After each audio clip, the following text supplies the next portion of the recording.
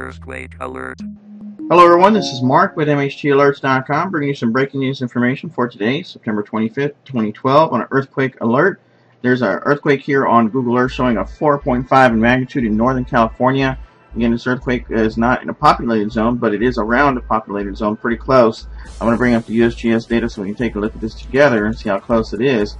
Again, it says here that this event has been reviewed by a seismologist, again at 4.5 magnitude depth was about 9.9 uh, kilometers or 6.2 miles, and it shows about two miles only from Talmage, California. So if you're in the area or uh, Ukiah, California, so if you're in those locations, please let us know if you felt the earthquake and make a comment.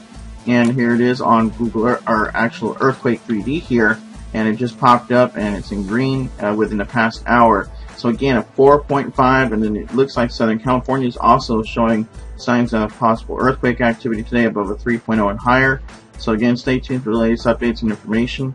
If anything does occur, I'll try my best to make a video. If not, uh, definitely stay alert and be cool and have a nice day.